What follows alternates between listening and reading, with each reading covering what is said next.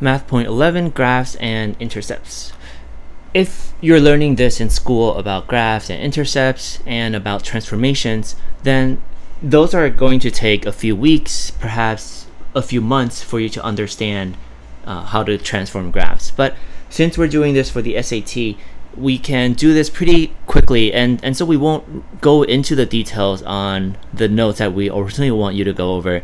And again, we're going to try to see if the using the Desmos calculator is the fastest way to do this. And if so, then there's no reason to go back and spend hours and weeks in relearning how to graph things using a um, using the math way you learn in school. There are two ways that the graphs can be transformed. Uh, one is by uh, translation, and this is a shift or like moving uh, shift or move and the other way is by stretching or compressing. So it could be going from for example from this what you see here to this to this to this. So this would be compressing making it thinner and thinner. Or it could be the opposite. It could be this. It could be wider. That would be stretching compressing while translation is looking like this. And as I do that it's moving lower and lower, and that's translation. In a equation, uh, equation, you can have this formula. Uh, the, the a is the uh, like the, the magnitude. Um, there's a function here, and then the function inside there could be a coefficient next to the x, or like another number here, or there's a uh, one, two, three, four, a fourth number on the outside of, of this whole thing. But without going into so much detail, we can just uh, graph it on the calculator and take a look at it. You're supposed to learn in your math class that if you have a function and you have a minus in the front, then this would flip the graph over the x-axis. What that means is if I have, let's say, this um, quadratic equation here, and I want to change that by change by adding a minus in the front. What I'm going to do is I'm going to flip this over the x-axis. And if I have a minus inside on the x, going from this to negative x, then I'm flipping this over the the y-axis here. So if you look at this, this is like the mirror image of this flipping over here. So this is like the, the, the pivot uh, line here. This would be flipping over the y-axis. But if that doesn't make sense, then graphically it makes sense. So just graphing the calculator and you'll be able to see that. Here we're also not going to go into detail on how to transform a graph from this into this. Just graph it and looking at the graph you'll know how, how the graph looks like. Here's an example. You have an equation f of x and that is x squared. So we're going to graph x squared. That's f of x. There's g of x and g of x is x squared plus 3. Two graphs here. Which of the following translations moving of the graph results in graph of g. So you're starting with f, starting with the red one, you're moving, moving, changing the graph into the black line. How do you do it? By just looking at it, you're uh, moving three units. Is it downwards, upwards, left or right? And you're moving from here to here going upwards, right? So the answer is going upwards, the answer is B. See how easy and perhaps stupid this math these math questions are on the SAT? Um, you have a line that looks like this. The question uh, here it says if each data point is shifted three units upward. So this one you can't use the calculator, but hopefully it's straightforward enough to solve it by, by just looking at it. It says if each data point, so you have this line, and this line is the best fit line. Meaning that if you want to approximate all the points here, then this line is the best, appro best approximation for all the points. And if each data point is shifted three units upward, so that means this point becomes this point, this point here becomes this point, and so on. How will the new line how will the value of the y-intercept of the new line, so how will like this point here compare with the line shown, compare with this line. And maybe by looking at it, you'll see that this the value of this, of the y value for this point goes up by approximately 3 units. In fact, it should be 3 exactly, because if you're moving all the points up by exactly 3, then the best line would go up exactly also by 3. So it would increase exactly by 3. Okay, we'll do just one more question, um, but perhaps you can also figure these questions out and by this point realize that these questions are, are extremely easy. The graph is shown, which the following is this graph plus 2, and uh, plus 2 if you don't know what the effect of plus 2 is. So even though here you might need to um, figure out what this graph first before you can graph it exactly, maybe we don't need to graph it exactly because by looking at the choices, you see that they, the point of this question is you have this line, now you have this line plus 2, the new line, and how is the new line compared to the old line?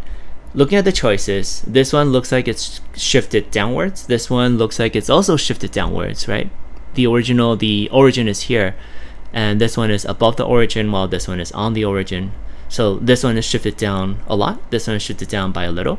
This line looks more uh, horizontal, it looks more steep. And this line looks like it's uh, shifted up from here, the y-intercept being 2 to the y-intercept being 1, 2, 3, 4, being 4. Um, if you don't know how to graph this exact line, which um, I won't graph it just to show you the point. If you don't know, don't know how to graph this, Perhaps you remember from your math class that y equals x looks like this, and this line looks not exactly like this, but it looks more or less like this. And again, you're just looking for the relationship. So even if this point is not exactly on here, that's fine. You have this, and the new line is y equals x, the original line, plus 2. So this new line here is the plus 2. And you can see that by doing a plus 2, you're shifting the graph upwards by 2 units while keeping the, the steepness of the line.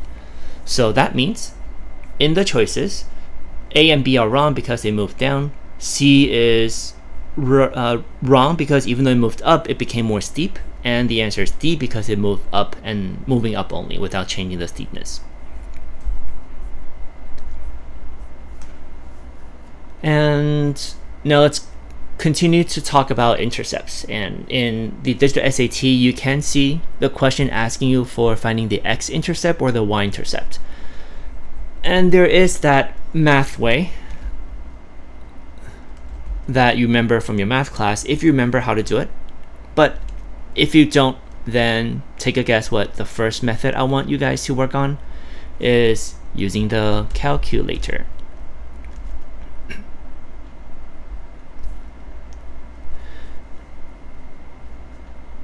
Now, here's an example. The scatter plot above shows the circuit production. Which of the following could be the slope of the line of best fit for these data?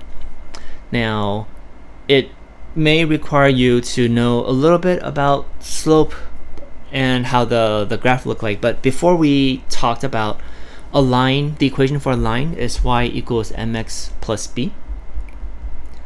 So with that in mind, you know that the b is the the y-intercept. So the graph that we're going to be graphing will look like mx, you don't know what the m is, plus b. And b is, here it looks like approximately 17.5 or 18. It doesn't matter. Whatever you put down, it's going to work because the choices are going to be very different from one to another. So uh, whether it's 17 or 18, it's not going to make a difference.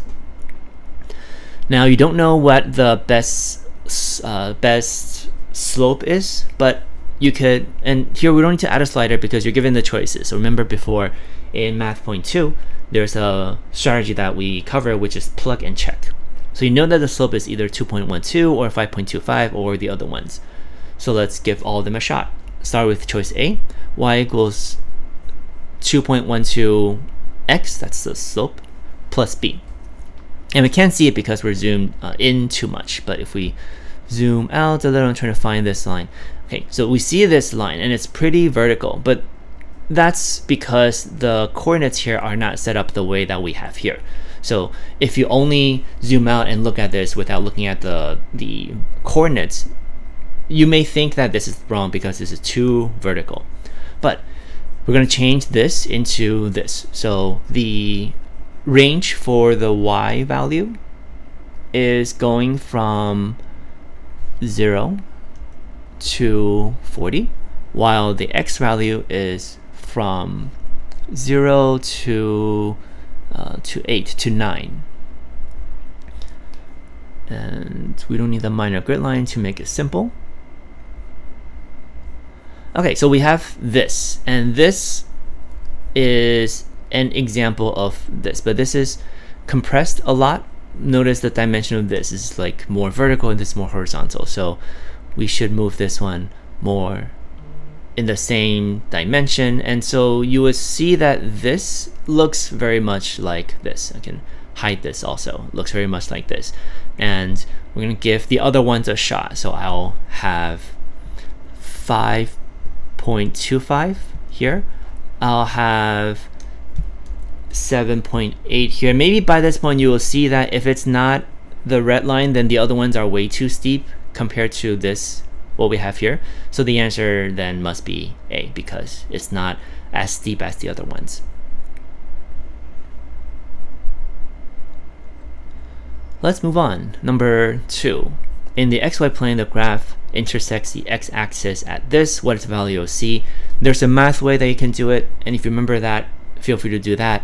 But here, we're going to use a calculator and graph this and take a look.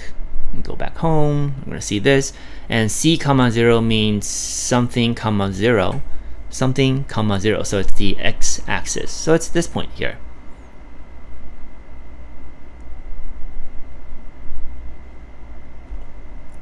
and right there 6.6667 so that's the value for C and typing that into the field for entering your grid in would be the right answer. Uh, if you know how to convert that to a fraction, that's cool. If not, then just type in this decimal number, 6.667. Okay, I will skip these practice questions, do them in class by yourself, then with a teacher, and go over those. Uh, any questions, then ask your teacher. And these are two more sets of practice questions. This should say classwork and this should say homework. Um, do those and ask if you have any questions, and I'll see you in the next math point. Bye.